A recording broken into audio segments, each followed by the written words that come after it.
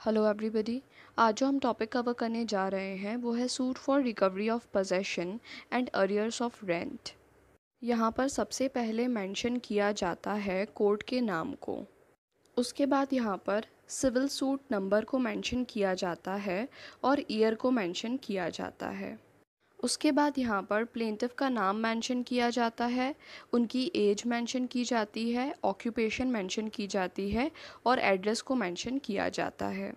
उसके बाद यहाँ पर डिफेंडेंट का नाम मेंशन किया जाता है, उनकी एज मेंशन की जाती है ऑक्यूपेशन मेंशन की जाती है और एड्रेस को मेंशन किया जाता है।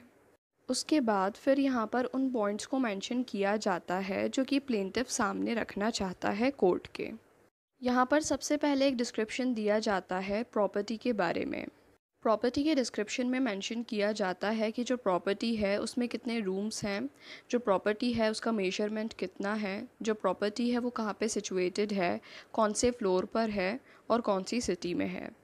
प्रॉपर्टी के डिस्क्रिप्शन के बाद फिर यहाँ पर मेंशन किया जाता है कि जो प्रॉपर्टी यहाँ पर मेंशन की गई है, उसका जो ओनर है, वो प्लेंटिव है।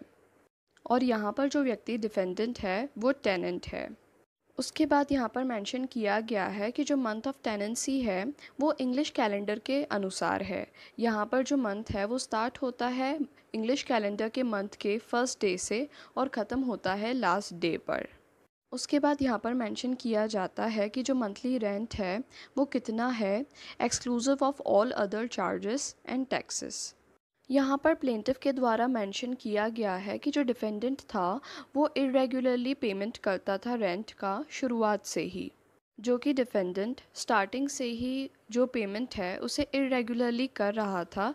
इसलिए प्लेंटिव के द्वारा इसके पहले भी एक सिविल सूट फ़ाइल किया गया था डिफेंडेंट के अगेंस्ट उस सूट में दोनों पक्षों के द्वारा कॉम्प्रोमाइज़ किया गया था।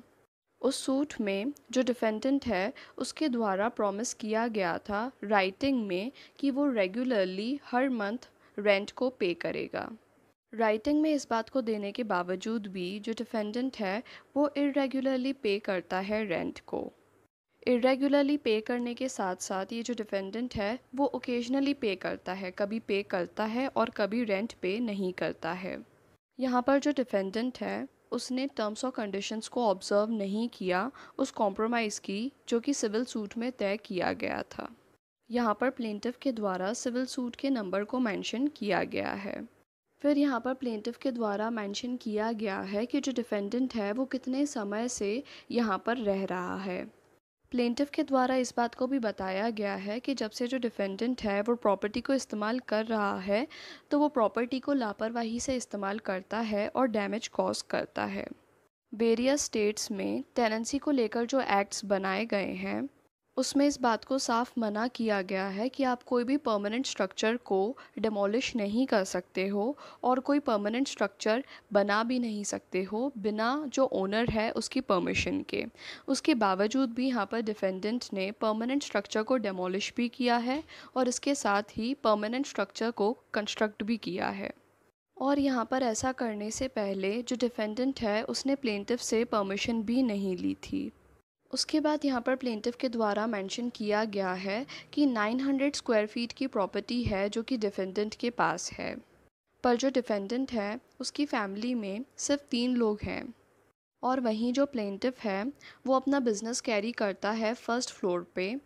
प्लेंटिव हैज़ टू सन्स और जो बिज़नेस है, उसका नेचर कुछ ऐसा है कि किसी एक व्यक्ति को वहीं पर परमानेंटली रिसाइड करना होगा जहाँ पर बिज़नेस को कैरी किया जा रहा है। यहाँ पर प्लेंटिव के पास और कोई प्रमाइसिस अवेलेबल नहीं है जिसमें वो इस बिज़नेस को कैरी कर सके। इसलिए यहाँ पर प्लेंटिव को उस प्रॉपर्टी की पोजेशन की आवश्यकता है।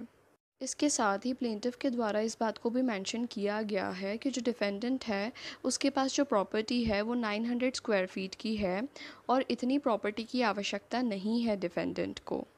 प्लेंटिव के द्वारा इस पॉइंट को भी बताया गया है कि जो डिफेंडेंट है, वो अक्सर यहाँ पर न्यूसेंस क्रिएट करता है, जिससे और भी टेनेंट्स को तकलीफ़ होती है। डिफेंडेंट के द्वारा अक्सर फॉल्स कंप्लेंट्स भी की जाती है म्यूनिसिपल कॉरपोरेशन में। प्लेंटिव के द्वारा टेनेंसी को टर्मिनेट करने के लिए लॉयर के थ्रू एक नोटिस भी भेजा गया था डिफेंडेंट को। नोटिस मिल जाने के बावजूद भी डिफेंडेंट के द्वारा कोई भी रिप्लाई नहीं किया गया था। सारे पॉइंट्स को मेंशन कर देने के बाद फिर यहाँ पर पर्टिकुलर्स ऑफ़ क्लेम को मेंशन किया जाता है। फिर यहाँ पर कॉज ऑफ़ एक्शन को मेंशन किया जाता है। उसके बाद फिर इस बात को मेंशन किया जाता है कि जो कोर्ट है, उसके पास जुरिस्डिक्शन है कि वो सूट को ट्राई करके डिसाइड कर सके। उसके बाद फिर प्लेंटिव के द्वारा प्रेयर को मेंशन किया जाता है। यहाँ पर प्लेंटिव के द्वारा प्रे किया गया है कि जो डिफेंडेंट है, उसको ऑर्डर किया जाए कि वो प्रमाइसिस को वेकेट कर दे। इसके साथ ही जो रेंट के एरियर्स हैं, उसे रिकवर किया जाए डिफेंडेंट से। यहाँ पर डिफेंडेंट को ऑर्डर किया जाए कि वो प्लेंटिव को पे करे अमाउंट ऑफ़ मनी क्लेम और इसके साथ ही मीन प्रॉफिट को। फिर यहाँ पर मेंशन किया जाता है प्लेस और डेट को और उसके साथ ही यहाँ पर सिग्नेचर किए जाते हैं प्लेंटिव के। फिर यहाँ पर एडवोकेट के सिग्नेचर किए जाते हैं। उसके बाद यहाँ पर वेरिफिकेशन को मेंशन किया जाता है और लास्ट में फिर प्लेंटिव के सिग्नेचर किए जाते हैं। तो आज जो हमने टॉपिक कवर किया वो है suit for recovery of possession and arrears of rent